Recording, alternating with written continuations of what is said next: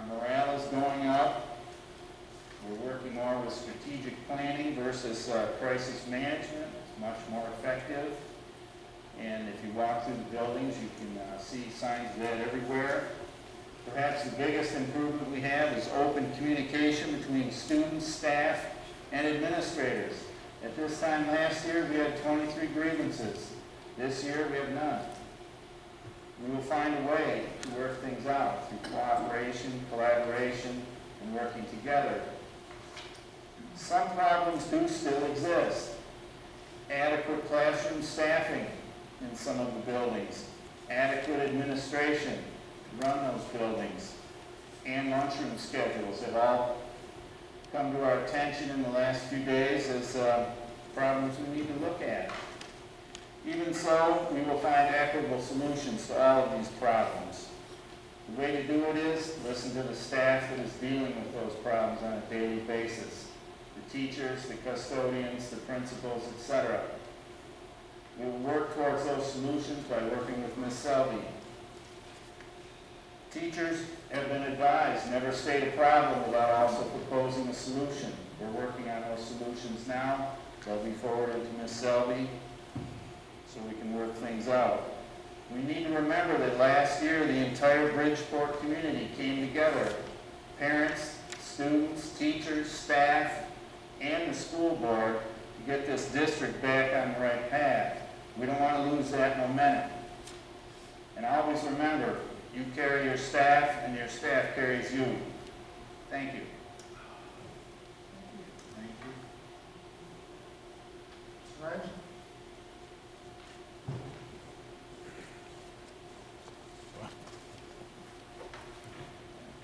Good evening. First of all, I want to start by saying it was really exciting news last week when I heard that Senator Ken Horn's Bill 356 was approved by the state senate and that it's moved on to the House. Let's hope that the House will approve it and the tax funds will be forwarded to the proper districts that are teaching the students from BV. I think uh, our deficit elimination plan could use the extra tax dollars that Mr. Horn is working so diligently trying to recuperate for our district. Next, I want to address an issue that I have a question about. Unfortunately, I see Mr. Bruns is not here, so I don't know that it's um, worth actually talking about because he's not here to hear me firsthand and, and have the opportunities to, to comment. Um, so I think I'll pass on that one. Um, actually, no, you know what, I'm I'm gonna go ahead and read it. At the meeting on August 10th, there was a, an item that took place that after the meeting, my phone the next couple of days was ringing off the hook. And I had several students and parents question me about it. Um, It happened to be the topic when we were talking about replacing or looking for a superintendent. Um, The superintendent search was discussed in length by every board member, and it was, there was a motion made to table the discussion until the September board meeting. There was more discussion about it, and then a vote and a unanimous support to table that meeting until September. However, Mr. Bruns felt that we should put it on the next agenda, which was not the September agenda. My question to him was why he did that. I, I think we, if we make a motion and the board fully supports it, we need to follow the, the full motion and the, and the support of the board. Um, During that conversation, Mrs. Sageman wrote a note and passed it to Mr. Bruns and made comments to Mr. Bruns.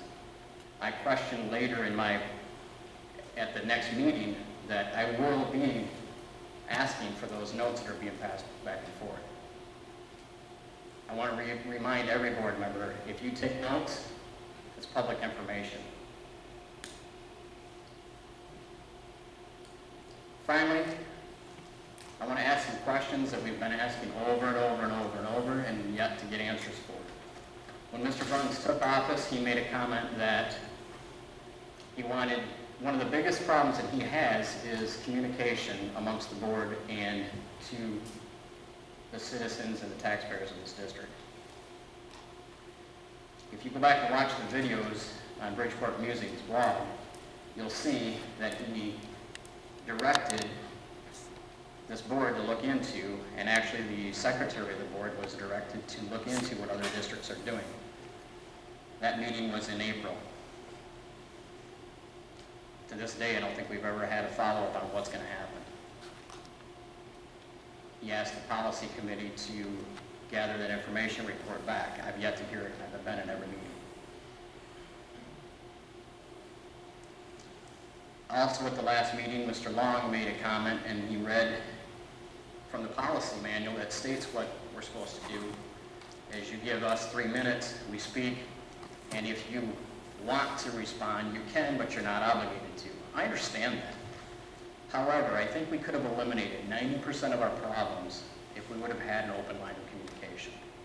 I don't believe we would be in the litigation cases that we are in today if there was an open line of communication. It seems that there are two board members that want to do things their way and communicate their way. And as somebody stated at a board meeting not too long ago, there seems to be meetings going on outside of meetings. Again, we've made great progress. I think the majority of you are doing a great job as board members. Like I've said numerous times, it's a thankless position, but if your heads are in the right spot, and ultimate, our ultimate goal is the education of our students, we can turn this ship around. I think what we need to do is eliminate some bad leadership, get positive leadership into places that can lead the ship, and this ship will float down, down the river. Thanks. Thank you. You've all had the agenda. Any corrections or adjustments? Not entertain a motion to accept the agenda as presented.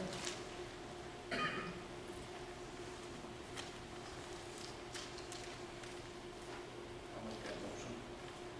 Larry's made the motion. Support? Support. Support. All those in favor say aye. Opposed?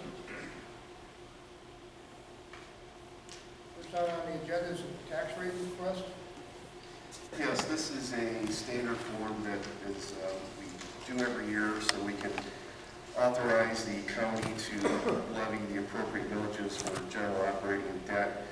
The general operating is, will be at 18 mills as it has been for the last several years. Uh, The Debt millage will be 5.02, which is exactly the same as last year. Uh, Debt millage was arrived at in conjunction with our bond counsel to ensure that we had enough uh, property tax revenue to pay off our, our debt obligations. Um, And fortunately for Bridgeport, we did not have to raise that millage like many other Michigan districts had to in relation to legislation passed in late 2012 that uh, required districts to increase their debt millage if they, uh, if there wasn't enough property tax levy to pay off the debt obligations. So basically, it's self-explanatory, and the millages are the same, and uh, going forward, uh,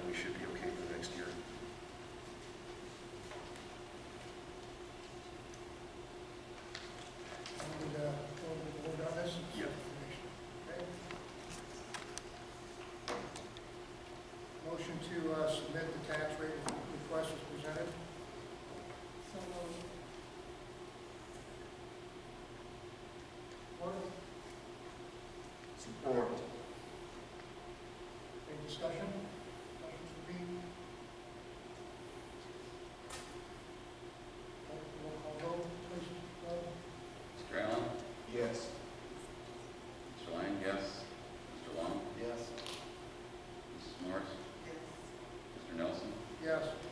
Mrs. Sageman? Yes. Thank you. And next, we have the consent agenda, which includes the payment of bills, budget report, the minutes from the Monday, August 10th, 2015 business meeting, and the August 24th, 2015 committee of the whole meeting.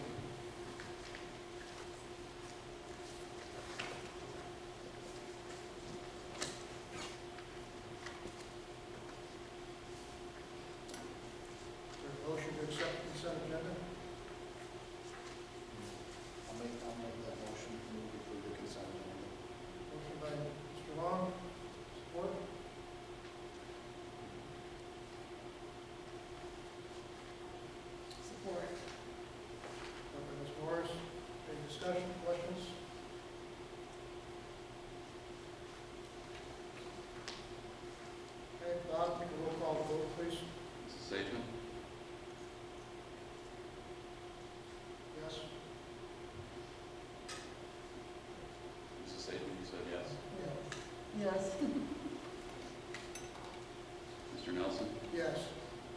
Mrs. Morris? Mr. Long? Yes. Mr. Allen? Yes. Mr. Lang, yes. Next item, do we have anything under the report that uh, Mr. Bruff is going to give?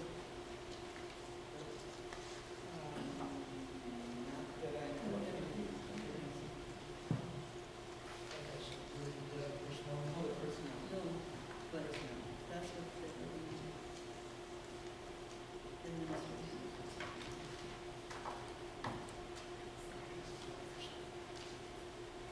Have, appears to be one item from personnel. Administration is recommending the following new hires. Tracy Hyde, a social worker, previous candidate took another position. Christopher Shroud, high school social studies.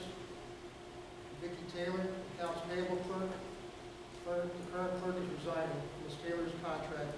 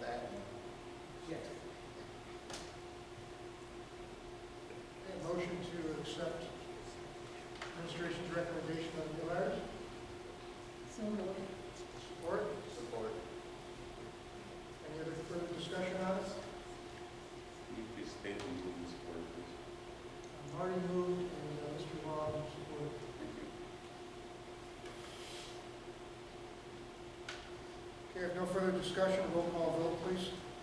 Mr. Long? Yes. Mrs. Morris? Yes. Mr. Nelson? Yes. Mrs. Sageman? Yes. Mr. Allen? Yes. Mr. Lang, yes.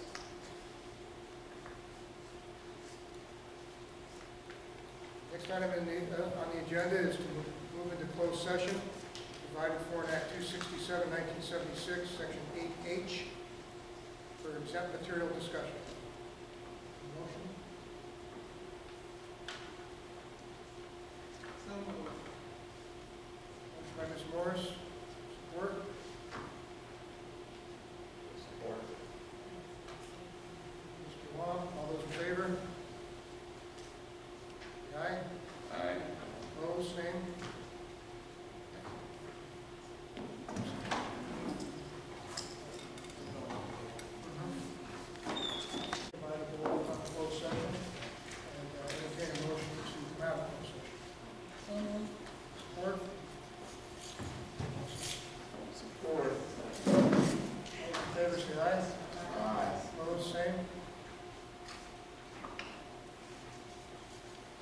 Have the board comments, Marty?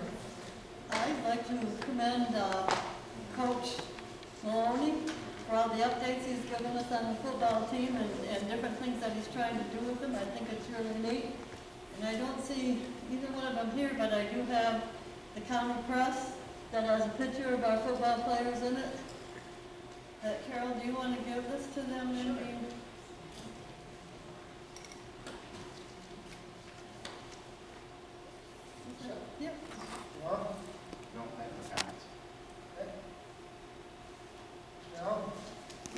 good start. Let's keep it up.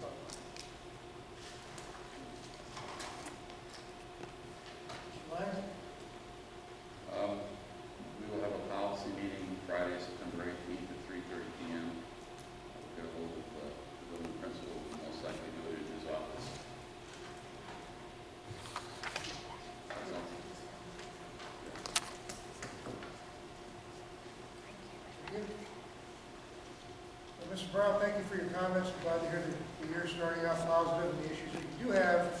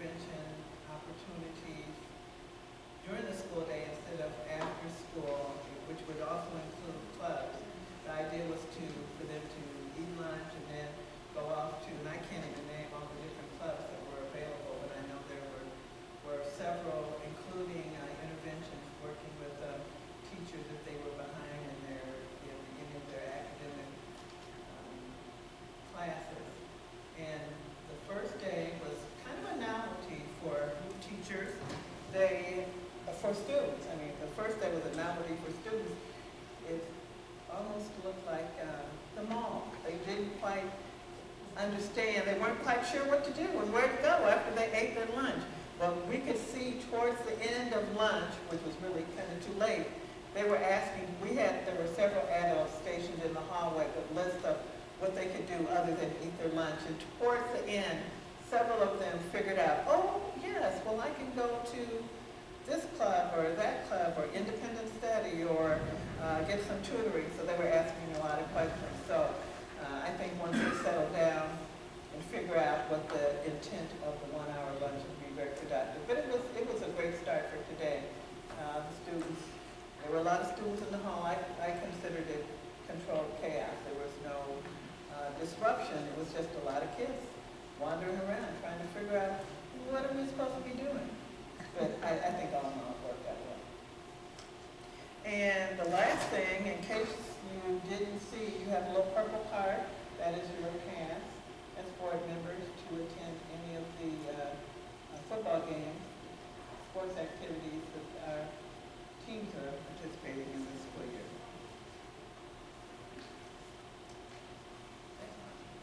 Any questions for Ms.